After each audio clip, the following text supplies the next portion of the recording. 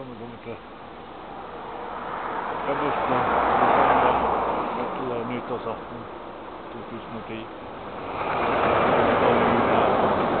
Svarte nakke. Her er det jo julefred.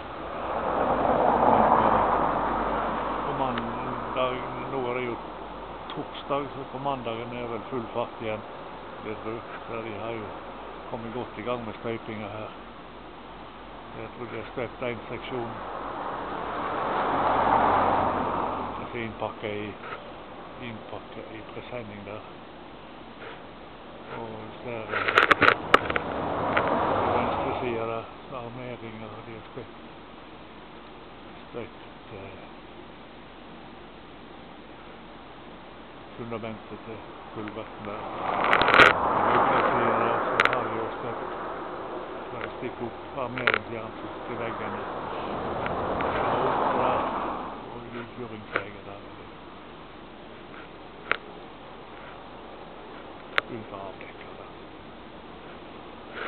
Og denne er jo er det jo mildere, sånn cirka minus sju.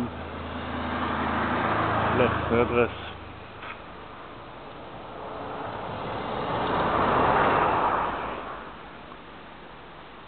Det er en behagelig temperatur i dag, da. Stilt her fra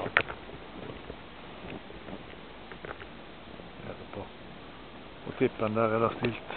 Det er en del trafikk her på stamveien. Det er vel bergensere som skal på, på hytten i, i uh, nyttårshelgen. Denne, denne bilen var jo på vei til Bergen, da.